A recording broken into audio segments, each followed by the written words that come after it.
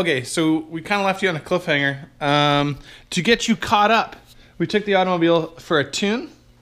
The car was jammy. It was so jammy on the dyno. Car sat overnight. Started up in the morning, ran like a bag of dicks. Absolutely a full bag. They're soft. They're they're pliable. It was just, it was awful. Bag of dicks. Really, really poopy. So the working theory now is that the tuner, when he went in to change the data logging, actually put the base map back on by accident, which was not a problem, uh, but we just couldn't reach him for a while. Communication issues, busy guy, makes sense. But we ended up getting the tune from him. I reinstalled it using the fancy laptop that we purchased because we actually didn't have one. Um, and it still doesn't run. Looks, uh, you see this brown ring here? Yeah. That's how you know that.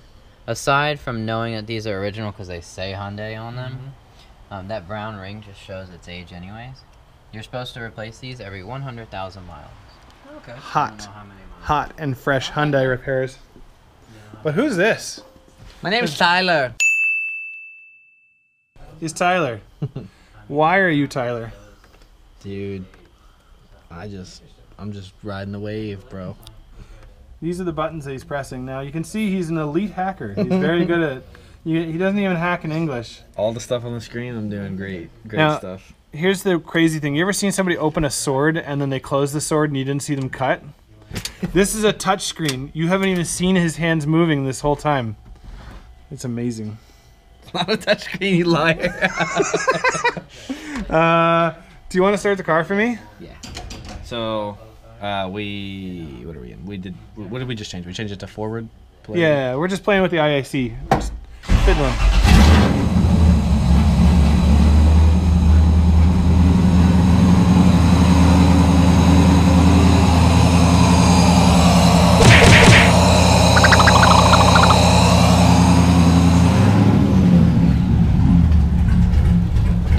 I gave it some throttle, I didn't like that.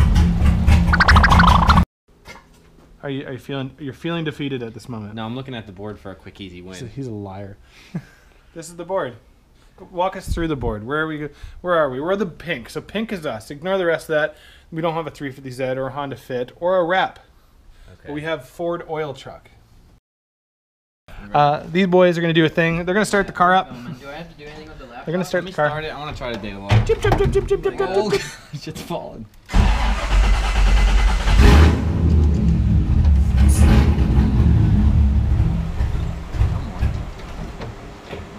Wow.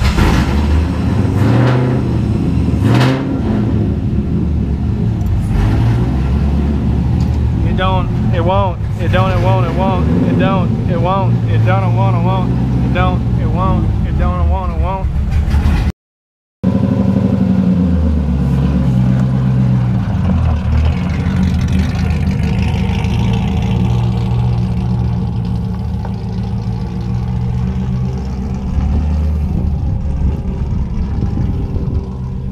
Behind the clouds exists a full moon. Tonight, the monsters are out.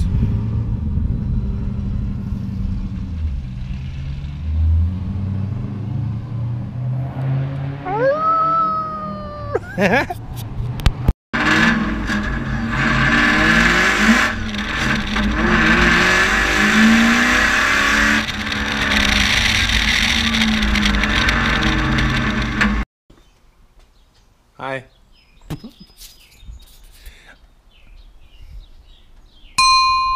It's suspension day. It's finally suspension day.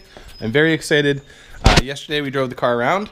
Uh, the engine's still doing a weird like in the in the start, but they took it for a boot around, and I guess whatever Tyler changed is feeling a little bit better, or is close to the tune, or whatever wires got bumped around, or what I, can't re- recreate the problem, which is a big red flag. Um, it makes me nervous. I want to introduce you because if you're watching this blog, you maybe not know the idea. Uh, but there is a one concept that we're basing the whole team on this year. It's called the 46 second rule. So most runs in FD are 23 seconds or less. That's it. You're out driving your car for 23 seconds. Two runs, so a battle, a lead, a follow, that's 46 seconds. That's it. The car needs to be ready. So you drive 16 hours, you spend like two or three months preparing your vehicle for those 46 seconds. That's it. That's the whole thing. Essentially, if you think about it, you do a qualifying lap, which is 23 seconds. You do potentially a second t- qualifying lap, which is another 23 seconds.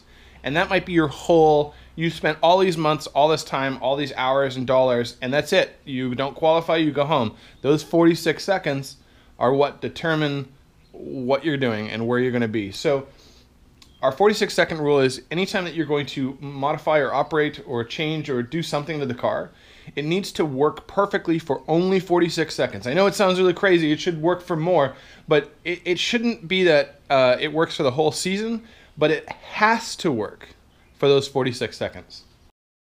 The fact that we can't recreate this like in the motor uh, is is threatening that 46 seconds. It does not adhere to our 46 second rule. We're gonna talk to the tuner today. We finally got a hold of him. That's awesome. He's a very nice gentleman, but he's also a busy gentleman, and he's calling us on Easter. So thank you to Turbo Mike. He's gonna call us on Easter and go through a, go through the motor with us. Um, just to make sure, and hopefully we can achieve, achieve attain, a, a, a chain, achieve, a chain, achieve um, our 46 second rule.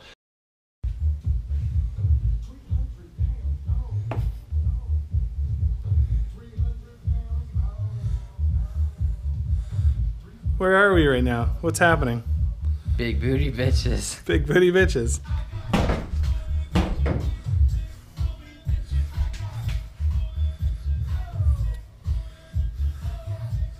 oh my god. it's thirsty.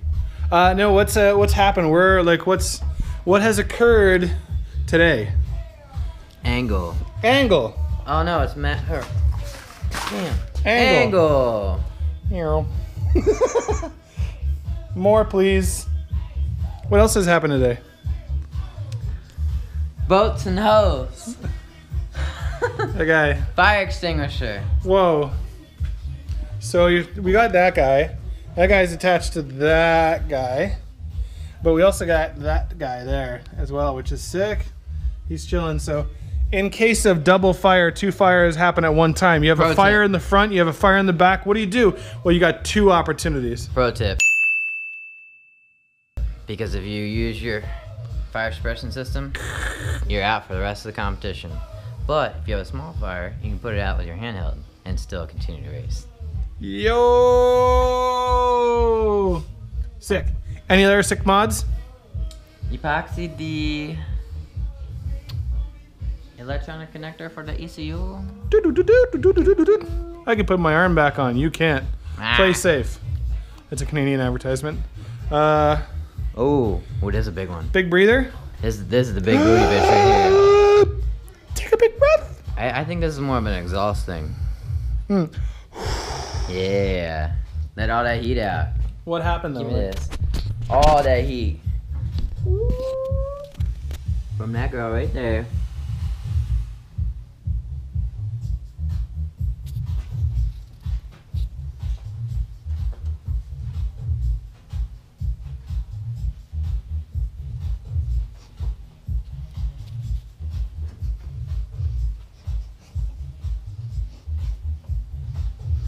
Why is the car raised all the way up on jack stands? Why are we underneath the car? Mr. Queen? Uh, we're gonna take all the suspension out pretty soon. Hey, pretty We're gonna throw it all in the garbage. Wasting all my monies, man.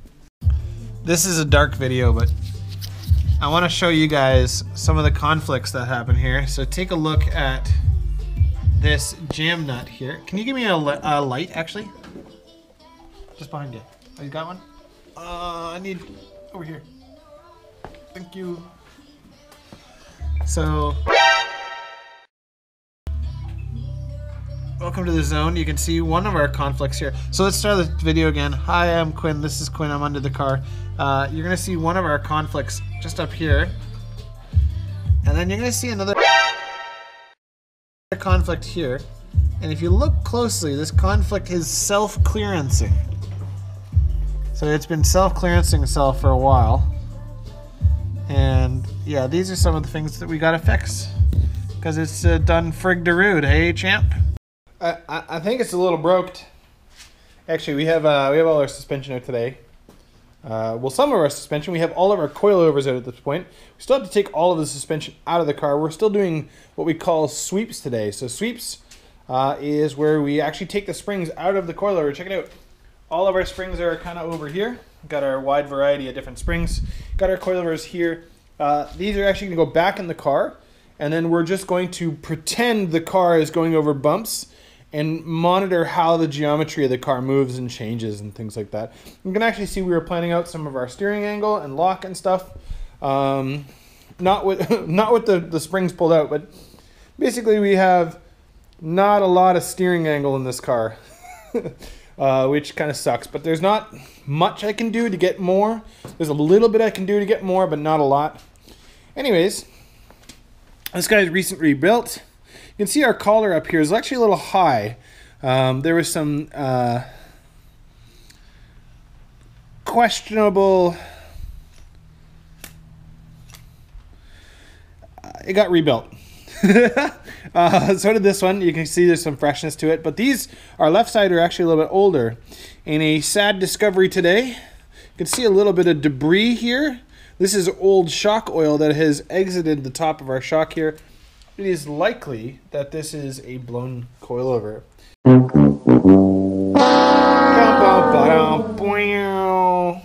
These are actually Fortune Auto prototypes, and they have been uh, beaten on aggressively. Fortune Auto has been really good at working with us, which I'm really stoked on. Um, uh, what's interesting with these coilovers and the, the prototypeness is that this there is an adjustment knob at the top. There's an adjustment knob at the bottom. This one actually adjusts bound, but there are essentially four rough adjustments when it comes to the current era of fancy coilovers. There is low speed bound, there is high speed bound, low speed rebound, and high speed rebound. This knob at the top actually adjusts low speed bound, low speed rebound, and high speed rebound. This guy separately adjusts high speed bound, which is interesting and mm, a little bit confusing to try to plan for. So um, it would be really a lot better if this was completely just bound. It did both low and high speed, and this did low and high speed rebound. It's, it's been super nerdy. So we monitored how much track width change there was front and rear. Um, on the rear, we actually monitored how much uh, longer the car gets because there's a traction arm that, that pushes the wheel back as you compress. Uh, we monitored camber changes and we monitored uh, toe changes. Now, the rear had no toe. There was no active toe in it, which was quite surprising because this is a more modern car, but we couldn't measure any noticeable toe change. However, in the front, things got a little funky. so we go from toe out at full ride height when the car's all the way up. But as the car starts to slam down, the, the wheels actually start to toe in. And we found it was really aggressive when we got the car super slammed. So you can kind of see it here. When we're uh, up in the air, we have about, I don't know, one and a half millimeters of toe out. And then at about half height through our stroke, we have um, about three millimeters toe in. And then once we get fully slammed, we have almost eight. so there's some funky stuff going on up there. As much as offset, uh, offset tie rod spacers make sense uh, in a in a two dimensional setting. Often in a three dimensional setting, they actually are a problem. Um, the reason being is this ball joint here actually starts to move out when you have this, and that makes the tie rod and the lower control arm actually not the same length, resulting in some weird bump steer. Um, not in a 2D plane. If the wheel never if the wheel never moved up or down, you could actually plan it out pretty easily. But because this wheel moves up and down, um, and we've got most of our bump steer set correctly on our knuckles here. Um, it actually causes a, uh, a conflict with the Ackerman um, through the stroke. And so you actually have to try to make this arm uh, equal in length to the lower control arm as best as you can. Ba, wow. So there's our lovely uh, what the French call bel, beljoint.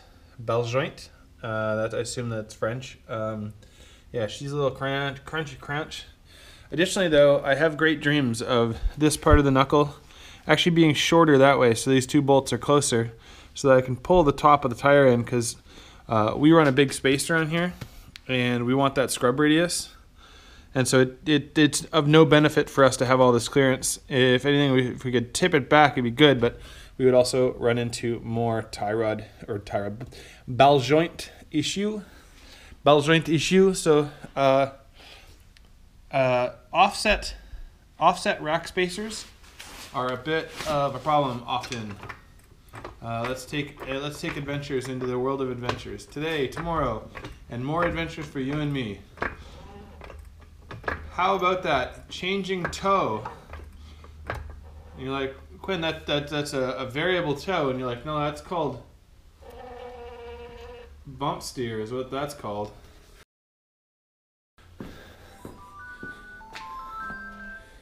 Check rulebook for de- placement. Hey, we did that already. Okay, we achieved some goals. Um,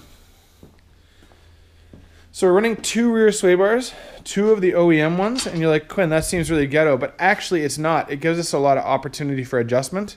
So rather than buying an expensive, fancy adjustable sway bar, we can run two. That gives us three settings of stiffness. We can either have two bars, so it's stiff. You can have one bar, so it's medium, and no bars, so it's it's soft or, or grippy.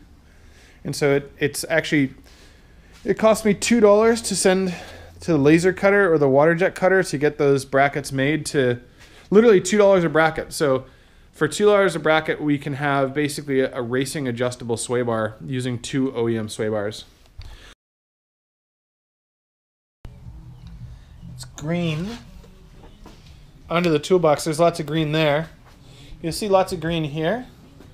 You even see lots of green there. But if we go around the back, obviously there's some green on the wheels, some green in the paint, and you'll see some green here. That's for sure. But that's green AF. Dylan over at Powder Coat Express. Powder Coat Express did this up for us, and it is sick. Hell yeah. Speaking of things that start with a P, here's some PBM, some Part Shop, Parts Shop Max. We got drop knuckles and the booty. We got the uppers for it. We got all the bits and bobs for it. That'll match our lower control arms from them.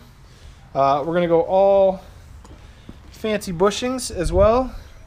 And then we even have our sway bar mounts coming up. So that's gonna be shortly.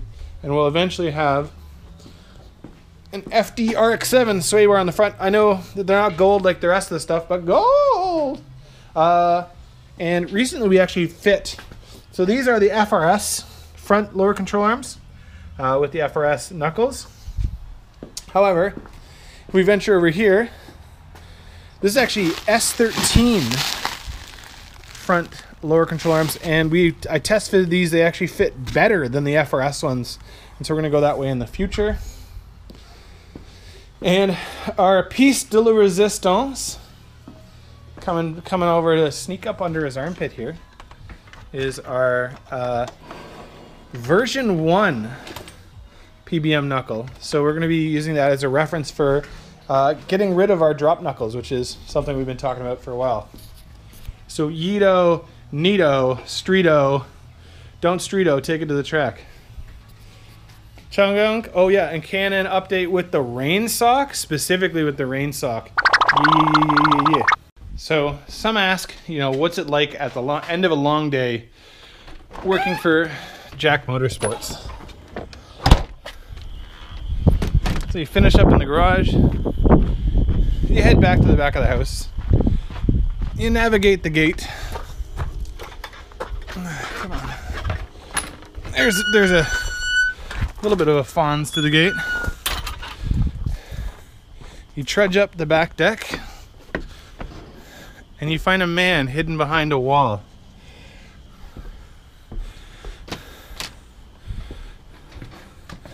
And that man is preparing the garlic toast because